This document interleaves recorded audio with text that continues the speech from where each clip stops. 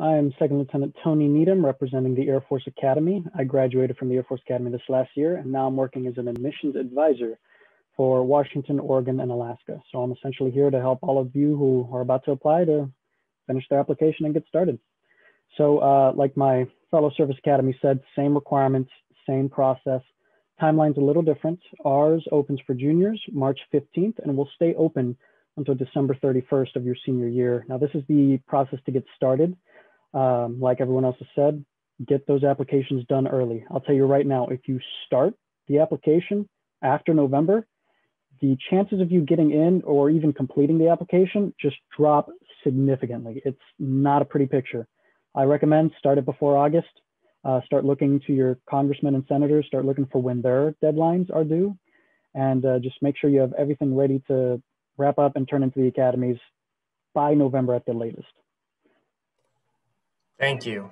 Roy, and it's good to see you. Do you want to follow up with the ROTC, the Army ROTC? Um, and, and, my name is uh, Roy Siswico. I, I, am the recruiting operations officer out of OSU. Now, um, as far as Army ROTC, the application process begins June 12th every year. It ends February 4th of every year.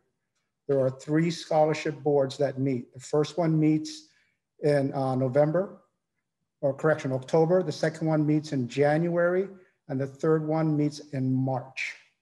So as long as you get your scholarship application in, uh, you're doing fine, all right?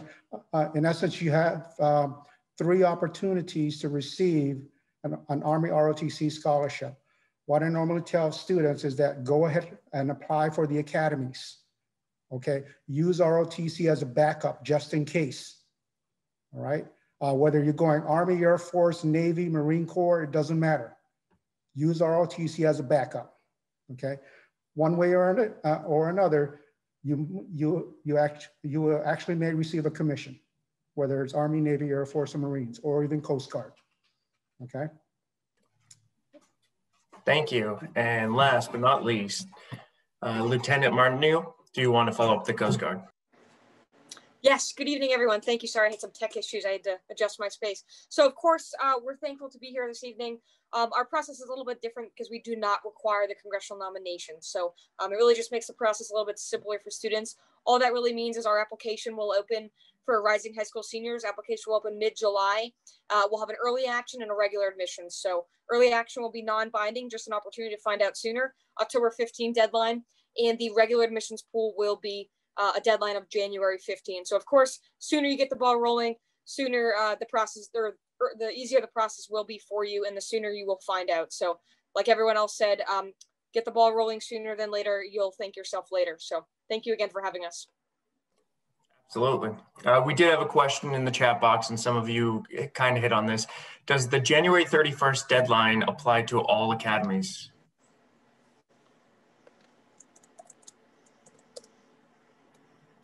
West Point is yes. We are 31 Jam.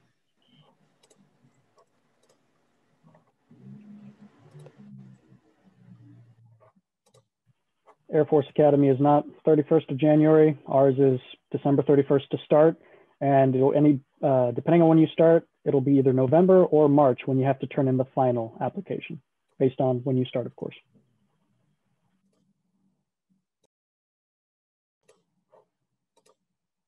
So I, I believe it's going to fall into different categories for each of the uh, the academies. So I would check their websites, and if you have any questions, you can reach out to our office as well. All right, question number two: What are the academies looking for in a candidate, and what can they do to pre prepare now if they're a junior? And do we want to start with West Point again? West Point is primarily a leadership development institution. Uh, we are looking for young people with terrific leadership potential. We're also looking for good students, and we're looking for those who are physically fit, medically qualified, who can uh, perform the rather physical rigorousness of being an Army officer. It is a vigorous physical profession. Uh, you must be in shape, you must stay in shape. Uh, there are, unfortunately, uh, young people who apply who are not medically qualified, and that's that's sad, but there are medical requirements. So we are looking for good students and good leaders. What can you do to apply now or to prepare now as a junior? Uh, if you're only starting to prepare as a junior, you're going to have to hustle. There are uh, suggestions we have for academic preparation, four years of math, four years of English, two years of language, uh, physics, chemistry. If as a junior, you're starting to get, you want to get cranking on that, mm, it's going to be a tough, uh, it's going to be tough to catch up. And uh, I'll be happy to send you uh, our recommendations on academic preparation. Participate in sports, participate in uh, school clubs, community clubs, church groups, strive for leadership. Uh, participation is great, leadership is a lot better. That's what we're looking for. Thank you. Benjamin, what's the United States Naval Academy looking for? And what can they do to prepare? Let me unmute there. Um, so the Naval Academy is looking for a lot of the same things. Um, we do want to see leadership. We want to see involvement in organizations outside of just school. Uh, academics are a big part. Um, STEM fields, math, science, chemistry, engineering, if that's something your school has. Um, we do take that into consideration. It is looked at very highly when you go in front of the admissions board or your application goes in front of the admissions board. Um, what I would say you can do to start preparing now is start thinking about taking your exams. Um, it seems silly, but this past year we had a lot of folks who waited until the last minute to start taking them. And they were kind of out of luck when the time came. There weren't any dates available for them. Um, especially to start looking into things like getting your vital documents set up, your birth certificate, your transcripts. These are very small things, but if left until the last minute, they will hamstring your application process and they will keep you from completing your application in a timely manner. Um, also, too, if you're struggling in certain classes, and we see this time and time again, ask for help. Uh, we see a lot of kids who will tell us a story saying, you know, I, I just, I'm not very good at this that's not an excuse that's going to fly here at the Naval Academy. You, you can't come here and say, I mean, we, we have academic assistance here, absolutely, 100%. But just saying, mm, no, I can't do it, that's not going to, that really is going to reflect poorly on you. And unfortunately, if you're saying that in your application process, the admissions board is going to pick up on it and they're not going to look at you. They're not going to rate you quite so highly for that reason. So definitely start developing yourself, you know, even incrementally into somebody who can overcome adversity as opposed to just throwing your hands up and going, I can't do it. Get, get I can't do it out of your vocabulary. Thank you so much. Natasha, who is the Air Force ROTC looking for? And what can they do to prepare? With Air Force ROTC, like I said before, your main priority really is to get into college. Um, whether if you're in Oregon, you're looking for the University of Portland or Oregon State University, or if you're going out of state, really focus on getting into college. And if you're interested in a scholarship and you are a junior, you won't have to start the application until about this July if you're a junior right now. And so you can reach out to me to start that application process. And realistically, right now, what you should be focusing on, especially throughout your entire senior year, is getting good grades and studying for your SAT and ACT, especially if you want a scholarship. That's probably one of the biggest reasons that someone might not get a scholarship.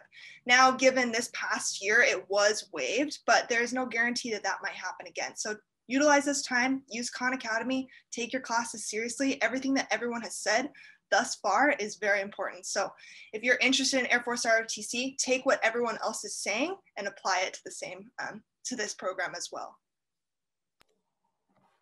Thank you so much. And Lieutenant Needham, what is the Air Force Academy looking for?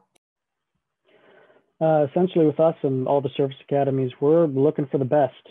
We're looking for people who have vision, who take initiative, um, essentially people who join uh, your, those extracurricular clubs. And not only do they join, but they take up leadership positions, they go above and beyond.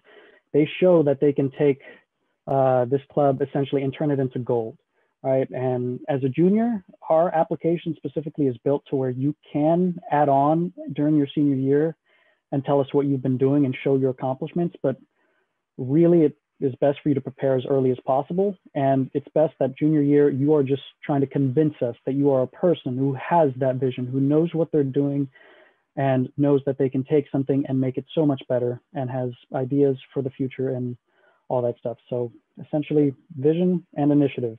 If that's you, outstanding. And that's Absolutely. exactly what we're looking for. Excellent. Roy, you want to follow up with that? Sure, same thing for the Army side. Um, the big thing is your SAT scores or ACT scores, one or the other, it doesn't matter. Um, high school uh, GPA is a big factor also. Any extracurricular activity, all right?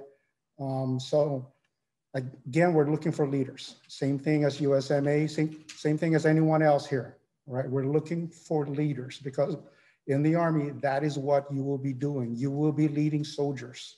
Um, most like most likely during the first day, okay? Once you're assigned to your unit, you will be a platoon leader in charge of anywhere from 15 to 40 soldiers right off the bat.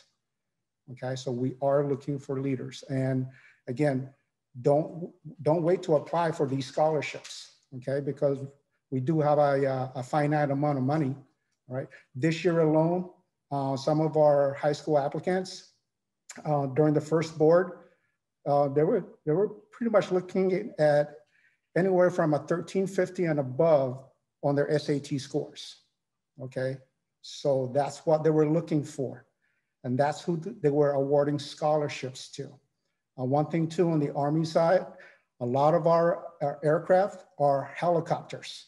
So if you're looking for fixed wing, the Army may not be your best choice if you're looking for fixed wing aircraft.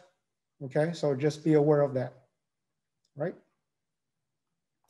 Excellent, thank you. And welcome, Pat McAllister. Um, what are the Merchant Marines looking for in a candidate and what can they do to prepare if they're a junior right now? Well, the Merchant Marine Academy really is looking for the same uh, type of character that we see in the Naval Academy, in the in West Point, the Air Force Academy, and even the ROTC. Our mission is to educate and graduate leaders of exemplary character who are inspired to serve the national security, marine transportation, and economic needs of the United States as licensed merchant marine officers and commissioned officers in the armed forces.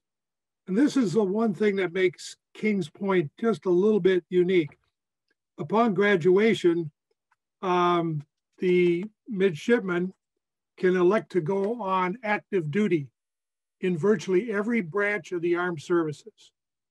Uh, if they do so, they need to serve uh, for eight years in the Naval Reserve, and they would be um, looking for at least six years on active duty.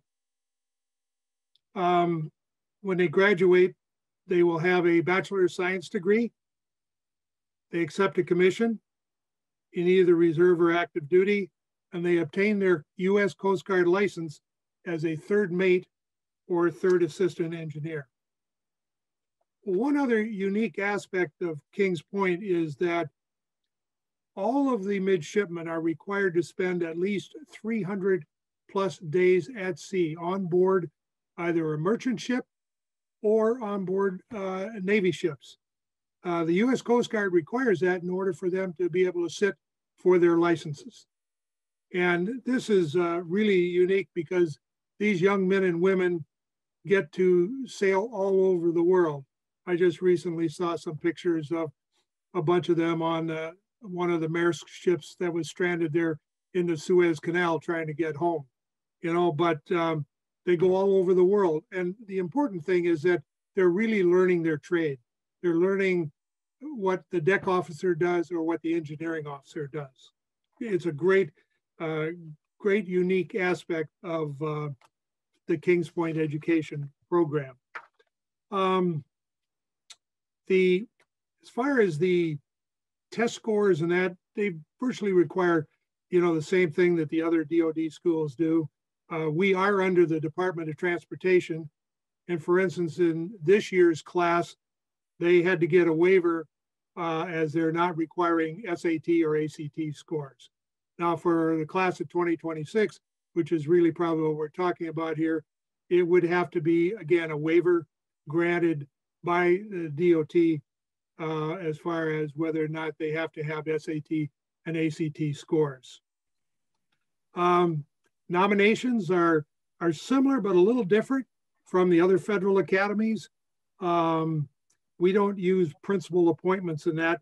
Each member of the Senate and congressmen can appoint 10 nominations to Kings Point each year. And what they do is they'll then send those nominations in to the academy and they will do the ranking uh, of the uh, uh, midshipmen. And as soon as they fill out, for instance, the state's allotment, then they will go into the national pool and draw from there.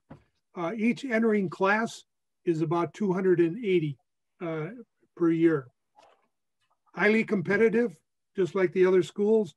Uh, the thing is you better be very strong on your science side. The math, uh, you really want to have calculus.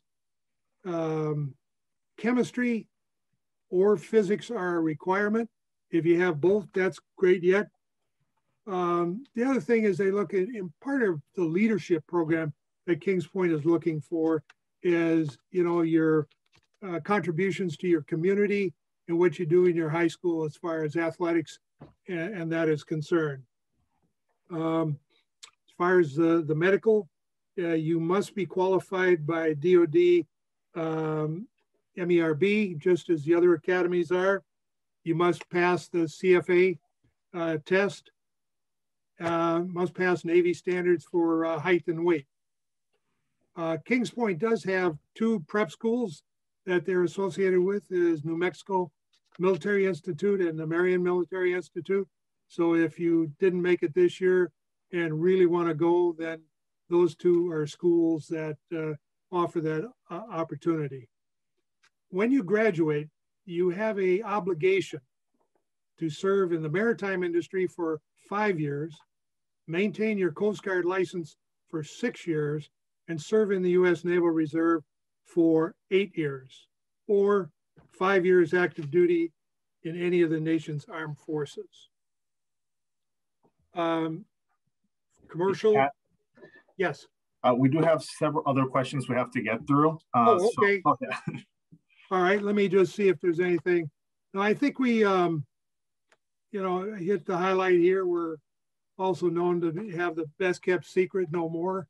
Uh, and I know, uh, Fritz, I've worked with you quite a bit and we've gotten good support from the other federal academies. If your candidates don't get there, you can talk to them about uh, Kings Point, especially if people want to be pilots. Uh, that's a great opportunity because Kings Point can send people into Air Force, Navy, Marine Corps, uh, Army, Coast Guard, and they can all become pilots. Okay, Mike, I'll uh, end it there. Thank you. Uh, Lieutenant Martineau, what, what is the Coast Guard Academy looking for in a candidate and what can they do to prepare? Yes, I'll keep it pretty simple here. Uh, everything's going to be the same as far as what we're looking for for well-rounded individuals leadership over participation strong academics focusing on courses like chemistry calculus and physics right now while you're in high school uh, but really we don't have the nomination so um, i will say that our process is simply a little bit simpler right so while you're in high school, you know, start thinking about what you are doing for community service. Start uh, creating a resume. You know, really just capture everything that you're a part of.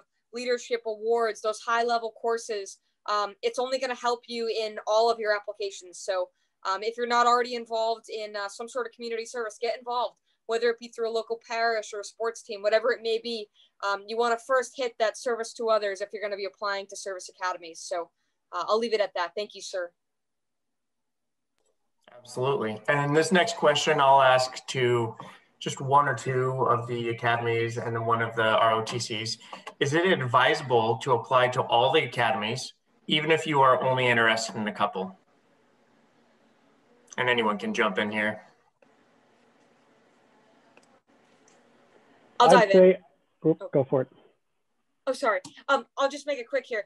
Um, I'd say yes. So um, I know a lot of people apply to Coast Guard Academy even if they know they want USAFA because um, it's just another opportunity, especially with us not having the nomination requirement. But um, I think just kind of getting your foot in the door, regardless of the service right now. Of course, it's going to be important for you to identify um, and look beyond the next four years. It's going to be more about service than it is the next four years service academy. Each academy is going to be important, but you need to think, you know, what do you want to do long term? So don't just fixate on the next four years. Again, the academy is important, but fixate on what you want to do the rest of your life. So um, we understand that you're still making these decisions, and um, there's going to be a lot of opportunities put in front of you. So for now, um, make as many, uh, you know, set yourself up for success. Apply for more than one. Fantastic, thank you. And Pat, did you add to add on to that? A- Absolutely. I sit on nominating panels for a couple of the congressmen and senators, and we find that it is critically important that uh, the young men and women look for multiple uh, academy nominations, especially, you know, it's very, very competitive. Uh, I see Air Force and Navy for uh, people wanting to be pilots. Well, not everybody's going to make it. So how about Kings Point? Because you can end up at the same point. So we encourage the young men and women to look at multiple academies uh, when they're looking uh, to get into one of the DoD schools or Kings Point. Fantastic, thank you. Does uh, one of the ROTCs want to jump on that? Sure. Um, the big thing here is that um, it really doesn't matter which service you want to serve in, okay? If you want to serve, apply to every single scholarship you can. Same thing with the service academies. Apply, apply for everything, all right? Hopefully something will develop. But if you don't apply, okay, a lost opportunity there. Okay, thank you. Thank you so much, Roy. Uh, the next question is, when should I start meeting with my ALO or my field force representative? Fritz, what do you think?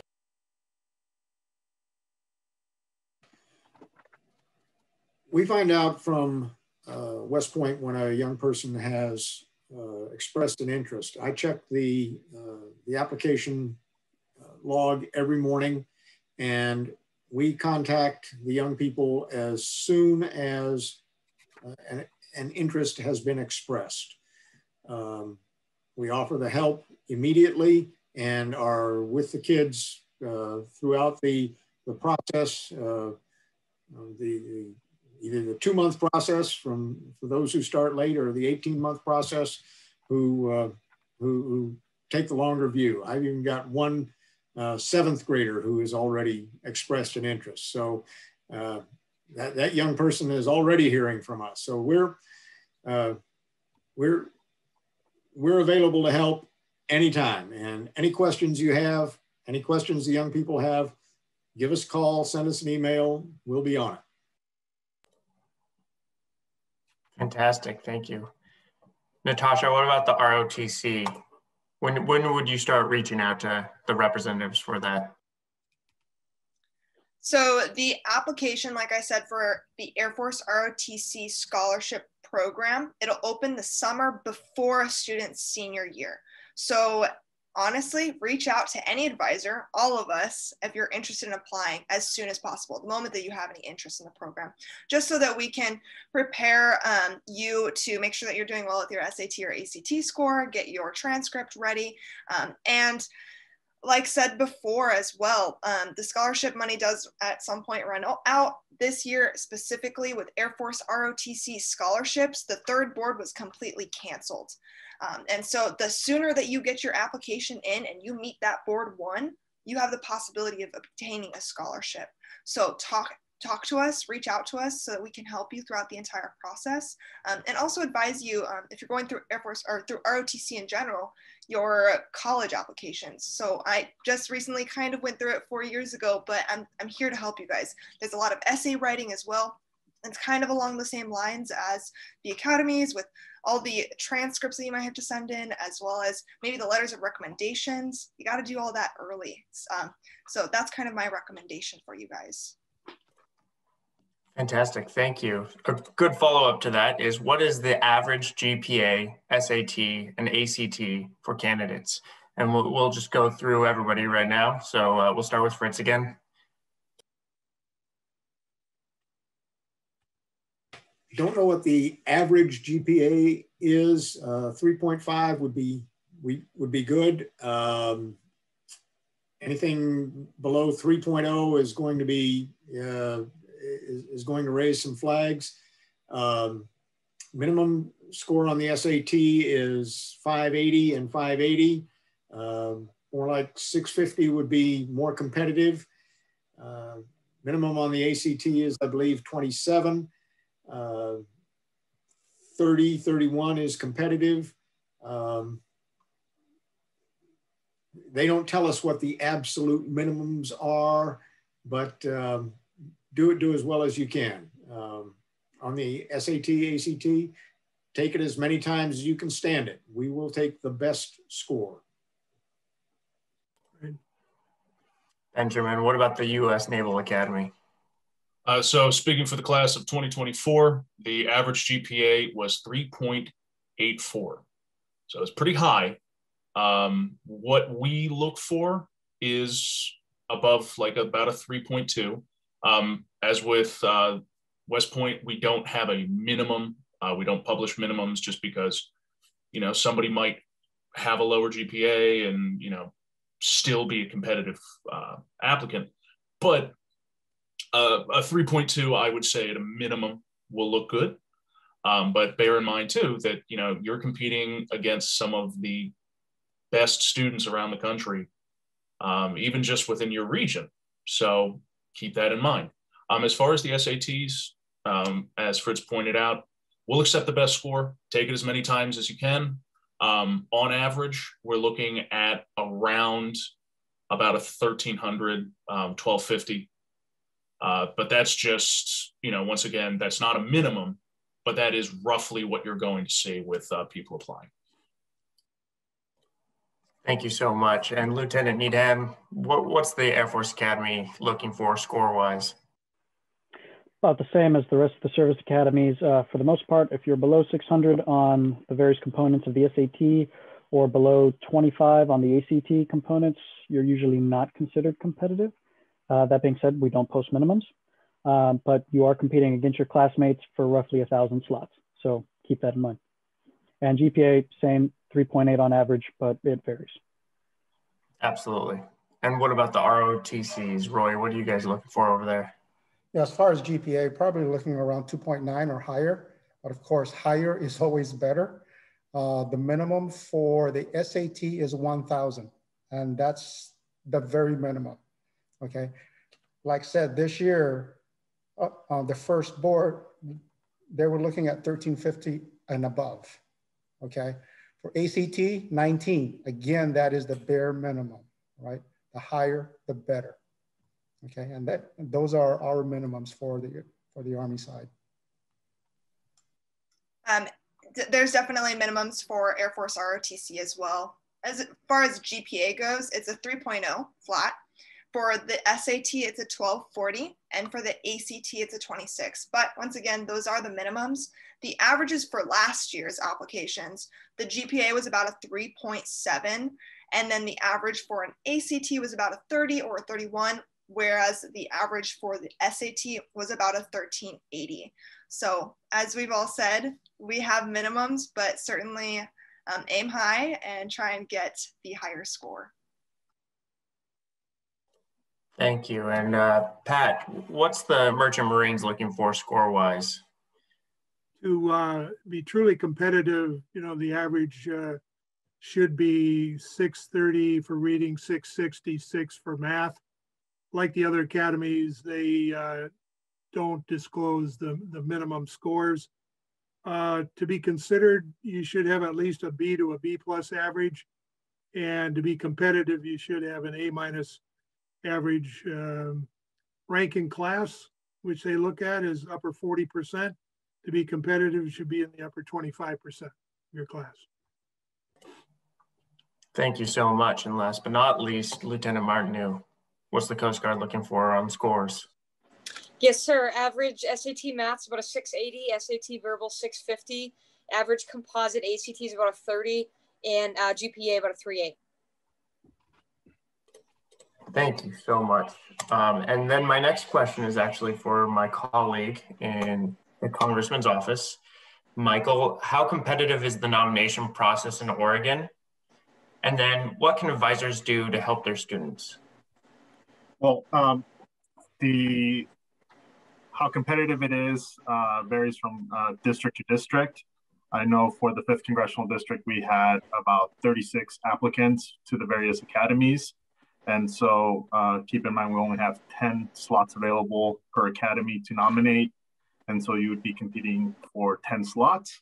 Um, and from year to year, um, it varies which academy has uh, more, students, but it, it is pretty competitive. We have uh, really outstanding students that that that um, that apply that are very well rounded, and the things that we look for um, is basically what the academies are looking for. I believe our job is to try and give the academies the best candidates to select, uh, and our ultimate goal is to have as many Oregonians attending the, the, the academies uh, uh, and you know representing our state. Um, and the it is important that you all, uh, all the students apply to your representative. So that's your member of Congress, and then both senators. Um, and I will say probably the best kept secret of the academies where, um, you know, I'll probably only get one or two uh, nomination requests is for uh, the Merchant Marines. Uh, that is by far the, uh, you know, it, if if you're trying to increase your odds, you know, definitely apply to the merchant marines. Um, don't don't don't don't sleep on them. and as far as uh, what can uh, college instructors or sorry, uh, what can advisors do? You know, I think uh, writing those letters of recommendation uh, would be good, and um, and yeah, just trying to get keep keep your keep your students on, on a timeline because they're they're they are on a timeline. And you know, I would ask the other mem panel members to give their input.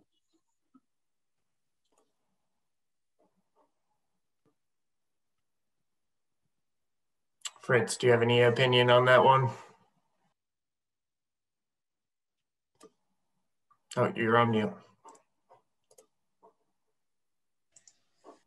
I'm, I'm sorry. Come on. Okay. There you are. I'm sorry. On the on on the timeline. Um, on what advisors uh, can do to, to assist the candidates. Uh, when you say advisors, do you mean uh, we, the field force, or school advisors? Uh, uh, school advisors. We, we had a couple advisors and like instructors ask ask this question school, school advisors can um, help the, the, the candidates uh, do well in their, um, in their academic studies, uh, do well in their school activities, uh, help the, the kids with their leadership opportunities, um, make sure the, the kids uh, take advantage of all the um, after, after school help uh, that may be available to them in, uh, in academics.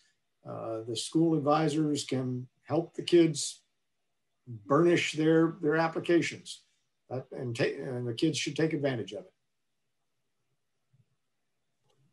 Thank you so much. Um, and one last question was, do I need to take the ASVAB to attend the academies or the ROTCs? And I'm getting I'm getting a lot of no shakes. what about the ROTCs? No. No. Excellent. We do not use uh, the ASVAB. We actually use your college GPA. Fantastic. So no ASVAB is needed for the academies or the ROTCs. And then I believe we're going to wrap it up and take a break for a while until the, the congressman jumps on. Michael, do you have any closing statements on that? Uh, yeah, we're going to put pause and turn everything off right now. And uh, we'll hope to see you here soon.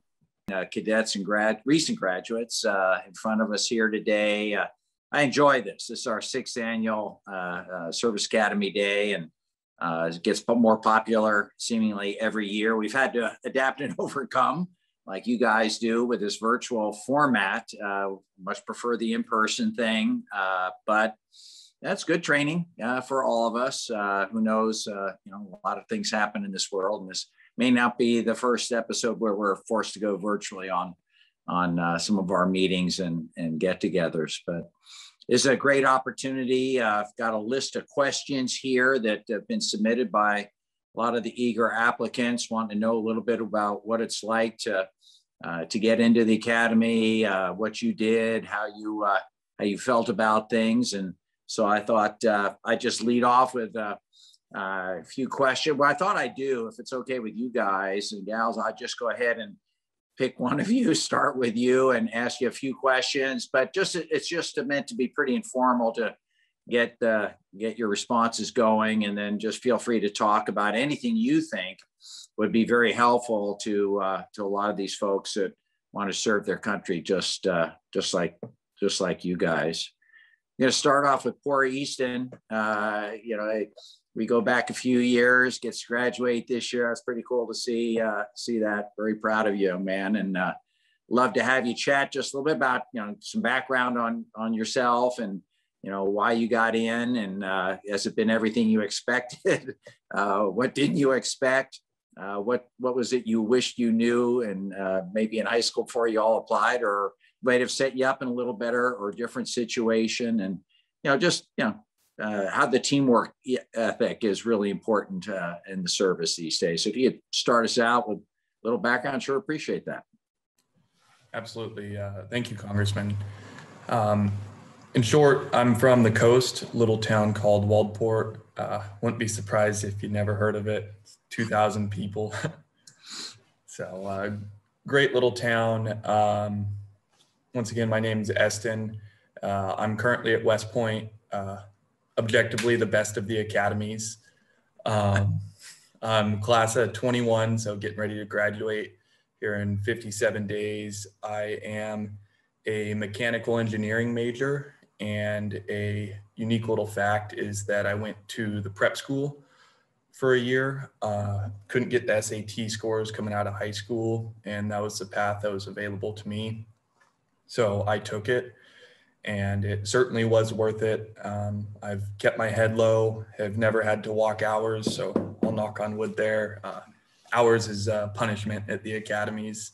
Um, you get in full uniform and just walk back and forth. So I guess I am trying to convince people to come. But anyways, no, it's it's all in good fun. Um, what I focused on when applying to the academies was just being a well-rounded individual. Um, of course, if you have stellar SAT, ACT scores, the academy looks at that.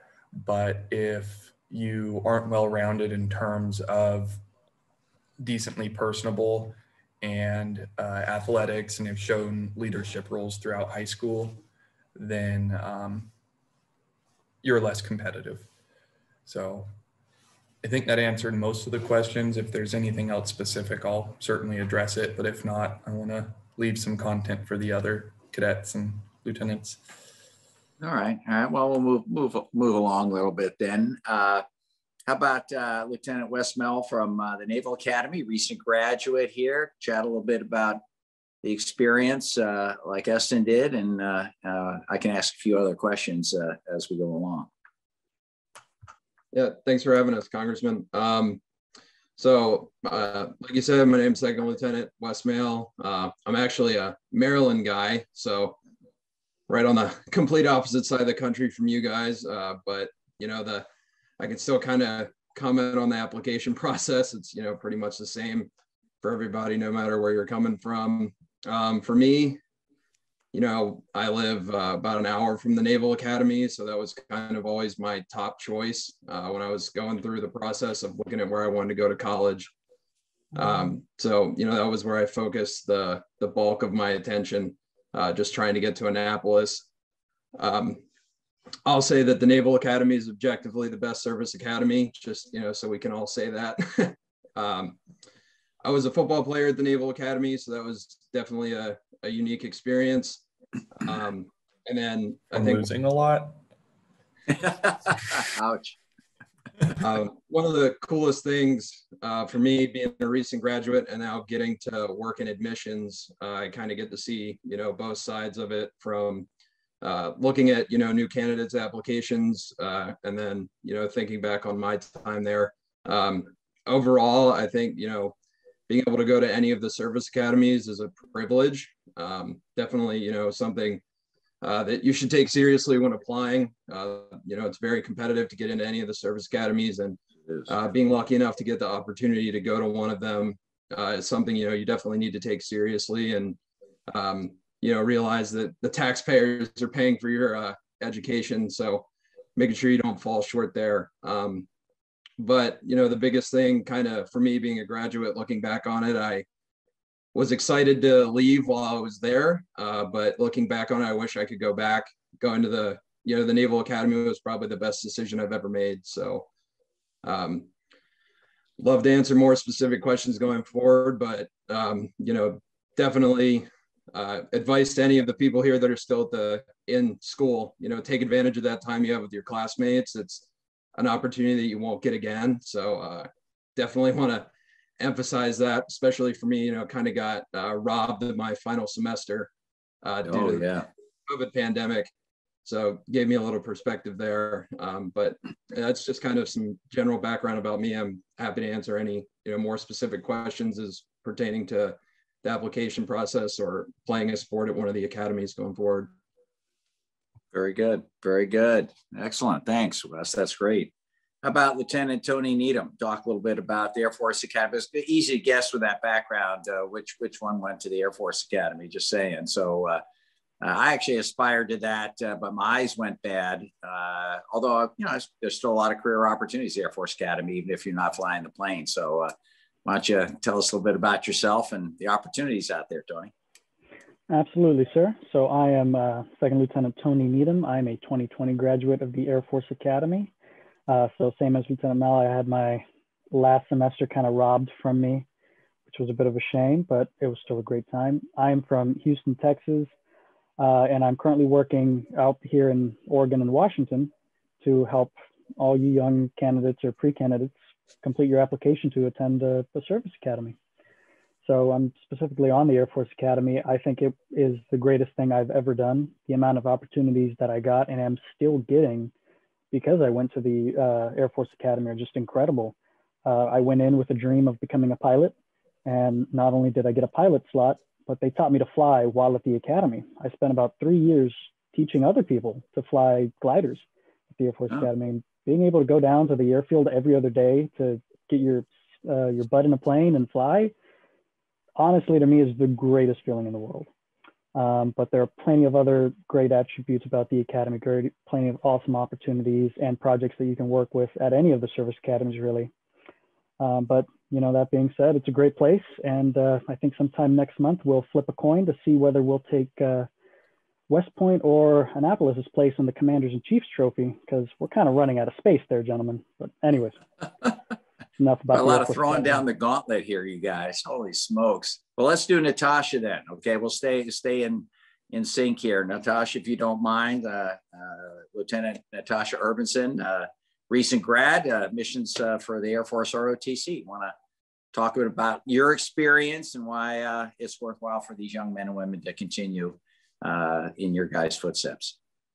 Definitely. I went to the, I went to the University of Idaho. Sorry about that. I went to the University of Idaho and I participated in the Air Force ROTC program there.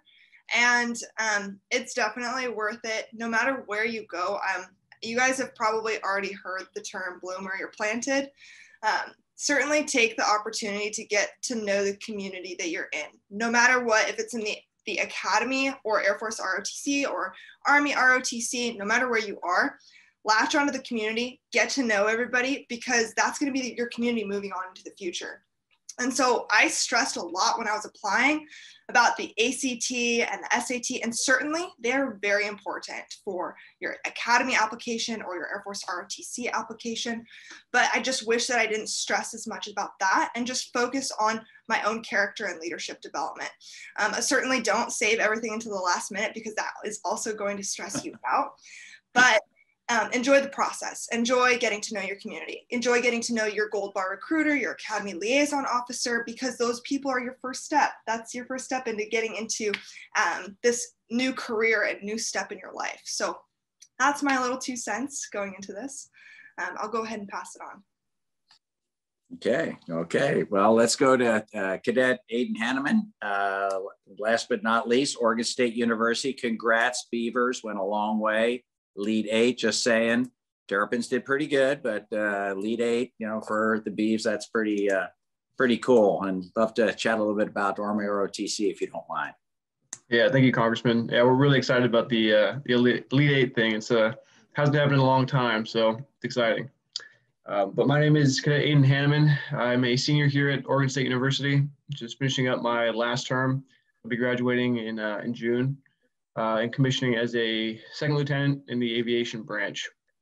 Um, a little bit about why I joined ROTC. Uh, I'll say that when I was in high school, I was the, the type of person who wasn't sure what I wanted to do uh, in college or even after college. Um, and that's where I feel the advantage of ROTC really lies in that you can oftentimes join the program without knowing exactly what you want to do, without committing too much, uh, unless you have a scholarship, of course. Um, and that's what I did when I when I when I visited Oregon State University for the first time to come study here. I just went and talked to the Army ROTC recruiters. I also talked to the Naval ROTC recruiters and started to get a, a little bit of an idea about what the program was all about, the opportunities that they provide. And when I decided to join Army ROTC, my first year was completely uh, you know, no strings attached. Just I was just trying it out, so I could leave at any time. Um, but I fell in love with it, and I applied to get a three-year scholarship uh, towards the end of my freshman year, which I was lucky enough to receive. Uh, now I'm finishing up my my fourth year here, and I've I've loved every second of it. Um, there's really no other no other opportunities uh, in a regular university like that that provide the same level of development and um, you know, leadership development skills and, and training that, that ROTC provides. So um, happy to answer any, any questions anybody has about, about the whole process. Well, Aiden, uh, why don't you chat, chat a little bit about, uh, you know, what next steps are for you? You're graduating and what do you see uh, next in line for you, your career paths or opportunities at this stage? Sure. So, uh, so like I said, I'm commissioning this June. I'll be commissioning as an active duty lieutenant. Uh, but on the Army side of things over here, we have the option to uh, also commission as National Guard uh, part-time. So a lot of people do go that route and a lot of people will, um, will, will start their second lieutenant time as a part-time officer and get a civilian job on the side as well. But for me, I wanted to go active duty. Military kind of runs in my family. So I decided that I wanted to make it a, a full-time job. And I was lucky enough to branch my first choice, which was aviation. So this August, I'll be heading down to Fort Rucker, Alabama to start flight school, which is in total about 18 months. Um, and then from there, I'll get my orders to go to uh, my first duty station and just start my active duty career from there.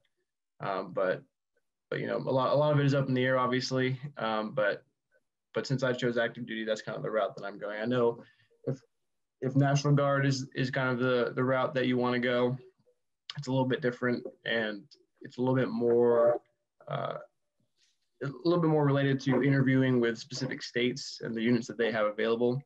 Uh, but when you when you decide to go active duty through ROTC, it's a little bit of a of a gamble for sure, um, and you're not really sure what's going to happen. But uh, but that'll be the the path for me, at least for now. Very good. Very very good. So, Eston, what's the, you know, if you can remember all the way back to your freshman year, what's it like being a freshman at the academy? Uh, how, you know, uh, fun and games, uh, easy, you know, whatever food you wanted, lots of leave. I mean, talk talk to us how how easy it is in this day and age to to to be a freshman at the academy. Absolutely. Um, if you talk to any, uh, they, they refer to them as old grads, uh, previous graduates like uh, Fritz is an old grad. So um, if you if you speak to any of them, they'll say that our plebe year, uh, freshman year is plebe year at uh, the academies. They'll say that our plebe year is the easiest thing in the world. Um, admittedly, if you have the mi- the right mindset, it's not remarkably difficult. Um, it puts you in a position where you have to lean on others, which um, is a great position to be in. It's just a great life skill to have to be able to rely on others and have trust that others will come through when you aren't strong enough. Um, the academies as a whole are incredible at that, um, challenging you and pushing you to the point of failure and having the uh, support systems and the avenues available to recover from that. Um, in a in a short timeline, so I went to the prep school, so that was a separate um, experience, and then I fed into the academy. So I had a unique plebe year because I had already known about 200 cadets, uh, my classmates from the prep school. So that made my experience freshman year here different. Uh, I still can speak on just the experience as a whole. And you come in, um, doesn't matter who you are, you're nervous. Uh, a lot of people you don't know. Um, once you say goodbye to your parents, you know nobody. And um, you go through what's called Beast Barracks at the academy, and it's six weeks. And there's certainly like downsides to it um, getting yelled at, waking up early, doing PT, but there's plenty of upsides. Uh, we we got to drive tank simulators. We we got to throw live grenades, um, shoot rocket launchers, uh, machine guns, uh, anything you could imagine. Great time. And as long as you have the right mindset, it's achievable by nearly anyone. It's just finding that finding that right state of mind. Very cool. Very cool. Wes, what was it like at the Naval Academy? Yeah, so for us, um, similar, I'm sure, in a lot of ways to the other academies. Uh, you know, intro to your plebe year, you do a little six week program called Plebe Summer. Um, it's mostly a head game, you know, um, coming out of high school, having to give up your phone, uh, especially, you know, nowadays, which is tough to do for even a couple hours, you know, nonetheless, six weeks.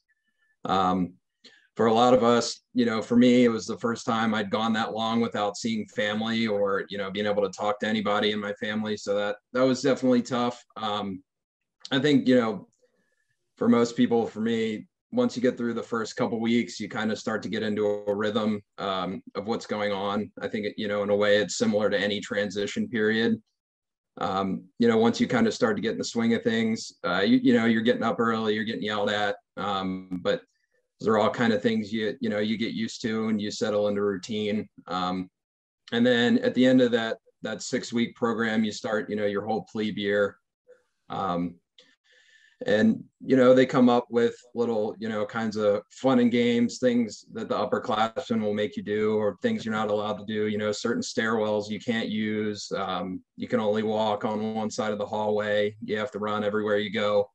Just you know little things like that. Um, kind of to, to play around with your head. Um, but in general, I, I think what I kind of learned in the, the main goal of plebe summer and plebe year is, you know, put everything, put more on their pl- on your plate than you can handle, give you more things to do than there is time in the day and force you to fail. Um, and then force you to be okay with asking your classmates for help um, and, you know, learn how to manage your time understand that you know being able to prioritize certain things you're not going to be able to get everything done.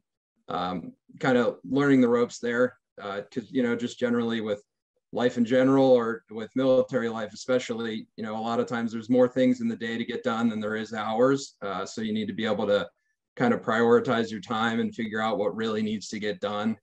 So I think you know similar to a lot of the other academies, um, ROTC programs, that that indoc period is just kind of to break you down and get rid of all of those bad habits you had in high school, kind of, you know, tear down whatever bit of ego you had coming in and get everybody down on that that same level. That way, you know, you can build the the class up together as a unit and um, get people ready to uh, assimilate into the the rest of the for us the brigade as a whole and be you know an effective and competent midshipman.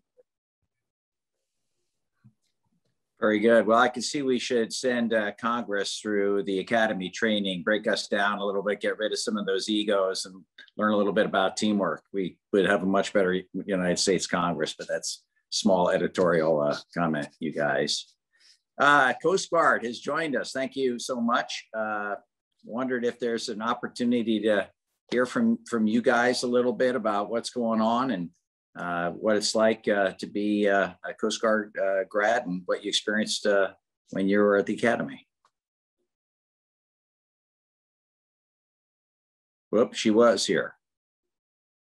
Uh, and Coast Guard is elusive, guys. I tell you, if those narcotics guys trying to get into our country, I could see these got the stealth thing down pretty good. I can't keep track of them.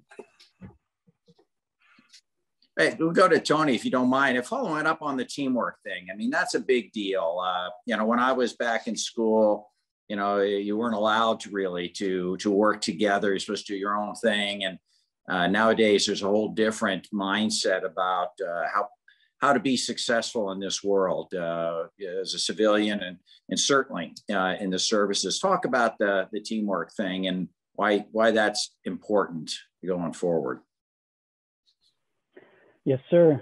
So uh, my freshman experience, we call them doolies, is very oriented around the teamwork mentality. You can't go anywhere by yourself. You can't do anything by yourself. If someone's lagging behind, everyone that's ahead is wrong because we're not helping out those that are behind. We pass and we fail as a team. It's essentially either all or nothing. And that's really part of the point of that introduction, uh, introduction training that we have is to not only break it down, but to ingrain in you that mentality that at the end of the day, we are a team. We, we have our own goals, we have our own aspirations, but either we pass together or we fail together. Um, so yeah, at the academy, we had everything from training sessions to academics, where it's it's all partner work, it's all group mentality. Um, on occasion, we'd be giving several tests and scenarios to where you know it makes you think that you're by yourself, you're on your own, but at the end of the day, someone doesn't do it right, and the, the team just fails. And at the whole end of that doolie experience, the end of that freshman experience, there is a uh, call it ritual ceremony, whatever you'd like to call it, that signifies your acceptance into the cadet wing. And even that is just another team activity where you either pass together or you all fail. So yeah, no matter what academy you go to, you will be ingrained into that culture of uh, teamwork because we are all a team Air Force, Army, Navy, Coast Guard, everyone. We all just work together for the same goal. Very good. Very, very good. Aiden, you talked about, uh, you know, trying out the ROTC to see if it was your thing. And, and then you said you fell in love. What, what made you, what drew you to uh, ROTC and falling in love with really thinking, man, this is the career path I want to go? Uh, well, to be perfectly honest, Congressman, it was a it was a combination of needing to pay for college and uh, and and wanting to serve in the military in some regard. So um, that's good.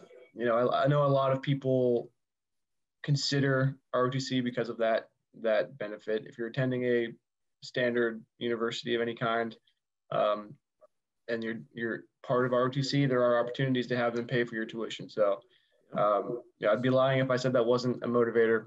But um, beyond that, uh, when I when I tried out the program and when I when I started getting into the uh, you know we do a lot of tactical training to help uh, facilitate you know leadership skills.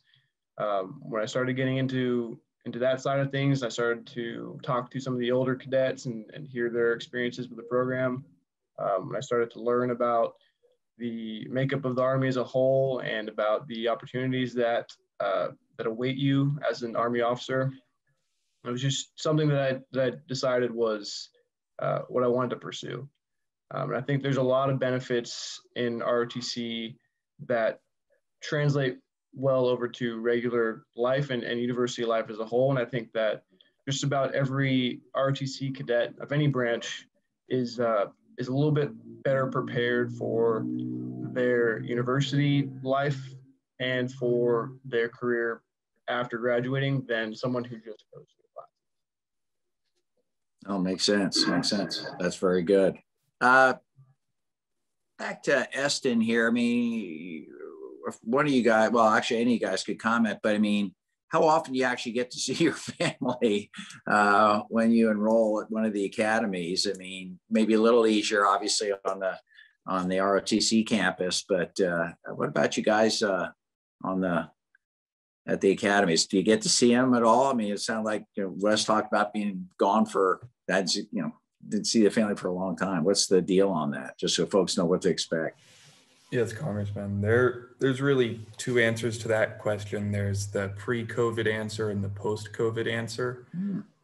Because my uh, freshman, my freshman, sophomore, and first semester of junior year, um, freshman year, of course, you're limited on passes, but uh, there's plenty of opportunities. Whether your parents come to the academy, which is always a fun time, uh, get to show your parents New York City, whatever it might be but uh, moving into sophomore and junior year, I was able to see family um, fairly often. Um, I would say I, I didn't always take the opportunity, but if I wanted to, I could see them once a month.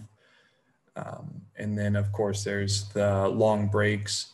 Um, moving into now with COVID, um, it's changed a lot. yeah. But um, assuming that there hopefully won't be another global pandemic in the next four years, I think that could stick with the plan of being able to see family fairly frequently. Rest of you guys had the same experience or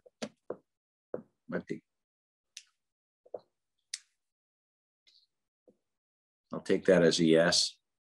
Coast Guard's here. Coast Guard, sorry about the technical difficulties. Apologize for that. Uh, this technology is a wonderful thing, but I'm always reminded about how little uh, uh, old-fashioned, uh, you know, handshake and personal contact can sometimes be still critical. You want to talk a little bit about the experience at the Coast Guard Academy? You've had family go through that academy and uh, enjoyed it quite a bit and led to a great maritime career.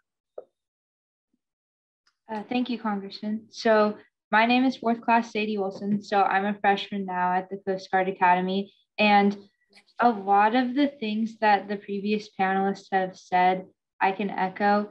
I think coming to the Coast Guard Academy was the best decision for me. I didn't really want to go to any of the other service academies. The Coast Guard was my one goal.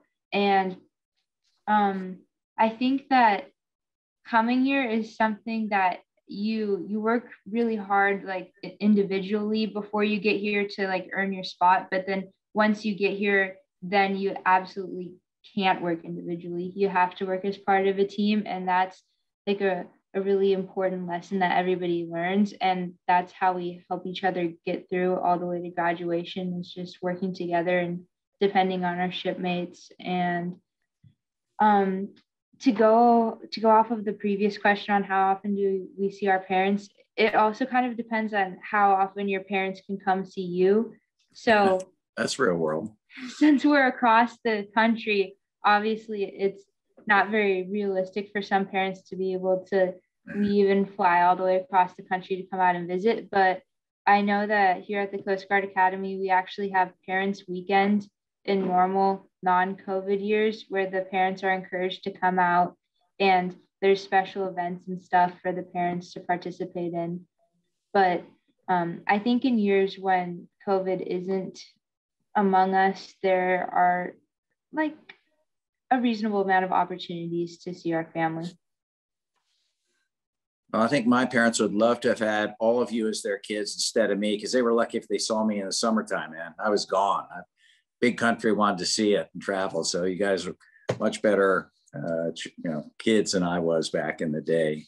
Um, how about the uh, how about the uh, application process? You know, all these young folks here are going through it right now, and any you know, so you've alluded to it, some of you guys a little bit, but any particular uh, uh, thoughts, Tony, maybe on you know what what they should be focusing on and uh, and what to avoid, what questions they need to ask. Uh, you know, certainly our office, Michael Klein, as you guys have heard, is pretty sharp on all this. Alvin too, for that matter, both have served, and you know we have that resource for you. But what what would you suggest uh, some of the uh, some of these applicants uh, focus on at this time? So uh, two things really, and the first one we've already mentioned plenty, but do not procrastinate, please. Do not procrastinate. So many people have knocked themselves out of the competition just because they weren't able to submit something on time, um, especially when it comes to the medical evaluation. If you need a waiver, that can take six months. And if that waiver doesn't come through by the time we make selections, you're not getting in. Simple as that. Um, and the other thing is, don't ever discriminate against yourself or knock yourself out of the competition. So some people will do this by just not applying or not finishing the application, even though they can. Others will do it by kind of suggesting that they may not be the most appropriate person for this position or they might not be the best suited. And really, it's just that does not help your case modesty only goes so far. And in an application where you're competing for a one in 10 slot, it doesn't take you anywhere. Um, so during this application, I just highly recommend you put yourself in a position where you're convincing the admissions personnel that you everything you touch is solid gold, that they want you in the military because you will be the absolute best airman, soldier, seaman, whatever that you can possibly be. And that's my advice for those of you applying right now. That's good advice. It's tough to put yourself forward. I remember driving a veterinarian in the real world, you guys, and I remember starting my own veterinary practice, having to drive from a horse practitioner, farm to farm, trying to convince these folks I was the best thing since sliced bread. You know, as a new graduate from veterinary school, my practical experience was this big, uh, but it was tough. But you had to do it, and those are good comments. That's exactly right. You got to be bold and talk yourself up a little bit. Uh, very important. Um, Wes, you you indicated that uh, going to the academies was a privilege. You felt it was a real privilege to have that opportunity, and I guess just curious why you felt that way. I think that's probably a similar feeling for uh, all the folks here uh, in front of us today. What why do you consider a privilege to be able to to go to the academy or attend ROTC and and represent your country? Yeah, I think um, you know part of it is I kind of I grew up in a family with a long line of military service. Um, one of the things that was kind of drilled into me growing up was kind of you know one way or another. Uh, you know, I was told before you exploit this country, you know, you need to find a way to serve it. Um, so I think that's that's one of the things that kind of led me towards that. But I also, you know, I think um, for us at the academy and those on ROTC scholarships, you know, when you're taking the the taxpayer dime and you're taking public money to fund your personal education um, and something that's you know going to realistically benefit you personally going forward um, it's something you have to take seriously and something you know you should have a lot of respect for. Um, you know that that money that's funding your education is coming from all of the hardworking men and women across the country that are you know, going to work every day and, and paying their taxes. So I, I think it's something, you know, when you're using those funds that you need to take seriously and understand that that's that's a big responsibility and and that you know America as a whole and the people that live here are making an investment in you um, to you know be able to get a quality education, take it seriously, and, and then go forward and and do a job. So I think that's that's one of the other you know one of the reasons and um, as far as the admissions process is concerned, related to that, you know, there's there's all kinds of kids, uh, you know, young men and women across the country applying for these spots, and uh, there's a low acceptance rate. That's just the reality of it. There's a limited number of spots. Um, so, you know, obviously all of us here, you know, worked hard and tried to do something to differentiate ourselves from the group. But you know, getting one of those spots for every spot given out, you know, there's 20 kids that wish they had that spot. So when you get it, you know, you have to take responsibility and really make the most of it. Um, cause you know, the way I look at it is if you go to a service academy or take an ROTC scholarship and you you squander that opportunity, you know, not only did you waste that opportunity for yourself, but you wasted an opportunity that 20, 25, 30 other kids could have had. So I think, um, you know, that's that's part of the reason why uh, you know, if you're looking at going to a service academy, I, th- I, think you should understand the the weight of the commitment and the things to go along with it, and make sure you take that seriously. Um, to kind of tie that into some admissions advice, uh, you know, with some experience I've had working at admissions for the past few months, is if you're a candidate looking to apply, take ownership of your own application. Um, if you need to be communicating with your admissions counselors, um, you know, your representative's office or something, pick up the phone and make that call yourself. Um, you know, it's great. I know, I understand everybody's parents care about them and want to help them out, but choosing to go to a service academy or go into um, an ROTC program is it's an adult decision. You're making a decision that's going to affect, you know, the next 10 years of your life.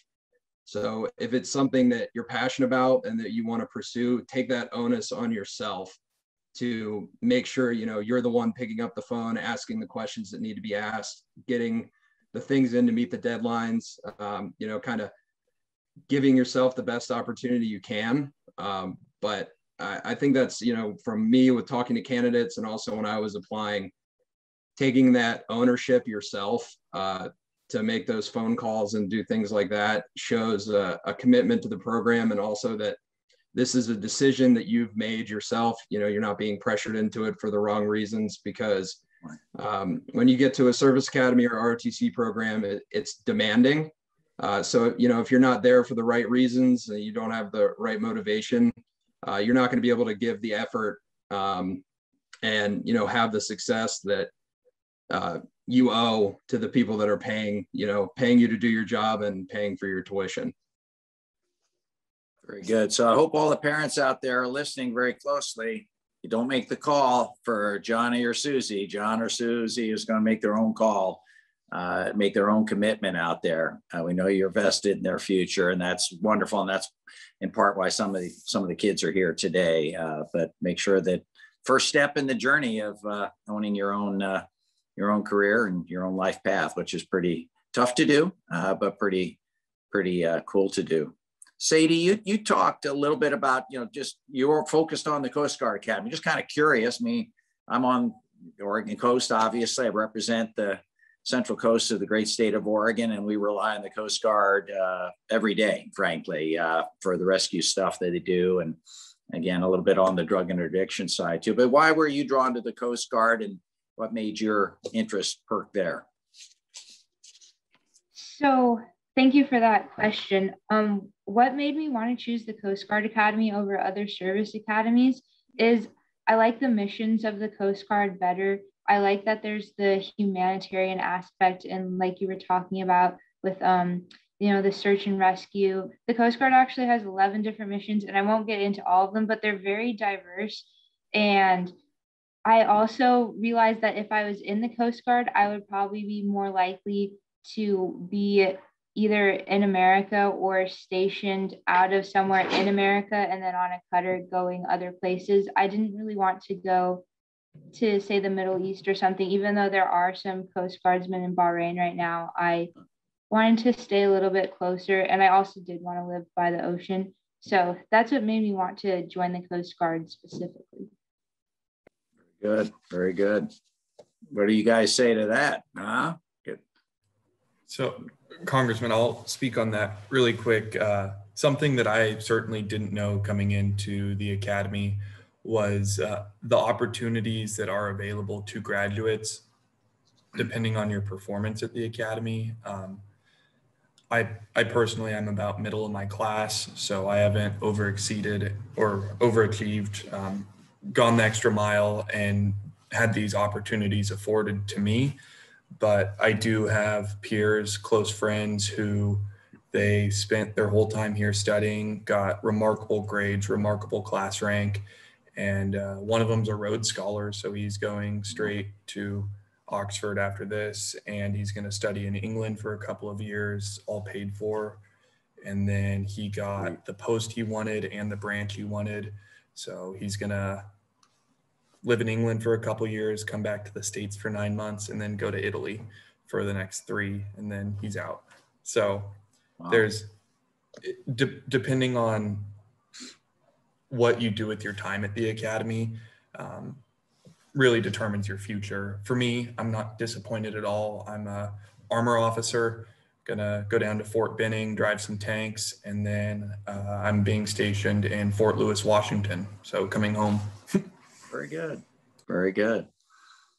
Very cool. Yeah, a lot of opportunities. I mean, that that's the cool thing about the service that I've learned from talking to you guys over the years that there are a lot of a lot of different opportunities. Uh, I was a young man and Vietnam was going on, and we didn't have too many opportunities. There was one direction you went, and uh, uh, I, I, was uh, in college at the time and oriented just as I was getting out, but it was not quite uh, not quite the modern day military service that we have here now. And the training you get is, I think, applicable in almost any field of endeavor you guys want to go to.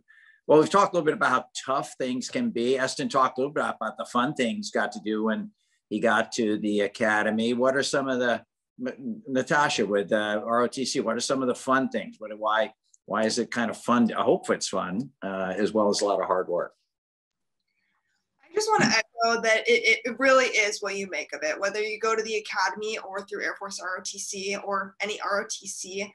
Um, you as a student, specifically in Air Force ROTC, from my experience, you you can sit back and just do the bare minimum, and you can uh, compete for a field training slot. You may or may not get it. Um, you may or may not commission, but you can do the bare minimum. But where's the fun in that? First of all, and you're not really commute uh, you're not being a part of your community that way. The given community within air force rotc and the community of the people who are paying for your tuition. And if you aren't on scholarship and you don't get into the air force academy or one of the academies um, and you don't get an air force rotc scholarship still participate in a scholar in, in, an, in a ROTC program. It's a really awesome opportunity to one study abroad. Uh, that's what I, I did. I did Project Global Officer. So as an ROTC cadet, that opportunity is available to you. I studied Arabic. I intensively studied that, and it was a really unique environment because I got to interact with Army, Navy, and Marines while abroad. So we were all together in a different country.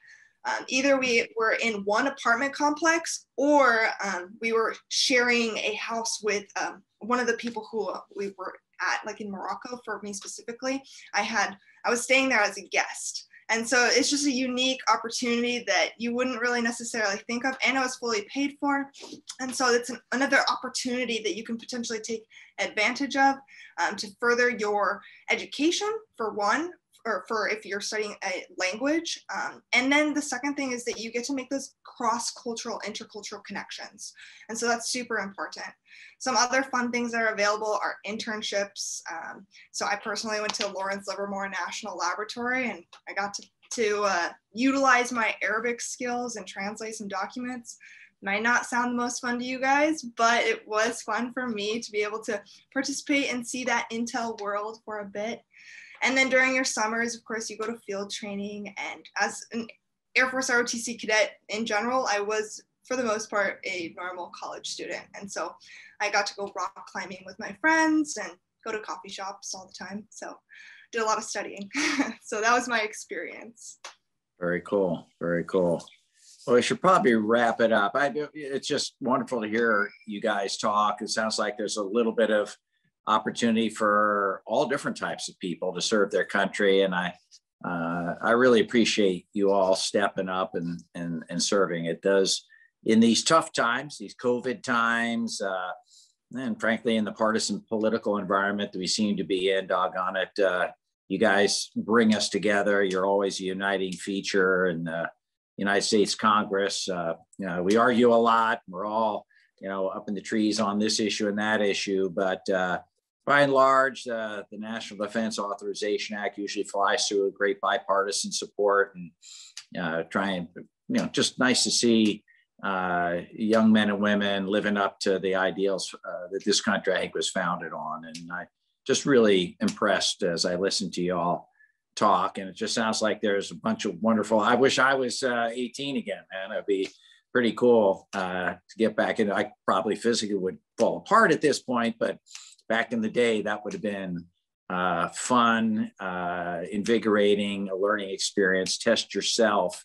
Uh, and I love the teamwork emphasis. That is the key to success in life. I mean, you know, we all are pretty proud people and certainly have a little bit of ego or you wouldn't be doing some of the things you all are doing, but uh, you realize pretty quickly you can't do it alone. And that's a, that's a humbling but important lesson for us all to learn. So anyway, I hope it's been uh, enjoyable for all of you. I want to thank our panelists for taking the time uh, uh, to come and chat with y'all. It's very important, I think, for uh, these young men and women that want to go to the academies to go through ROTC to get a flavor of what it's really like so they're they really know what they're up against and know what their opportunities are tremendous opportunities it sounds like uh, going forward uh, and want to thank everybody hopefully we'll do this again a year from now and it will be in person covid will be in the rear view mirror the next graduating class won't have to go through what Eston and others are going through. It's just uh,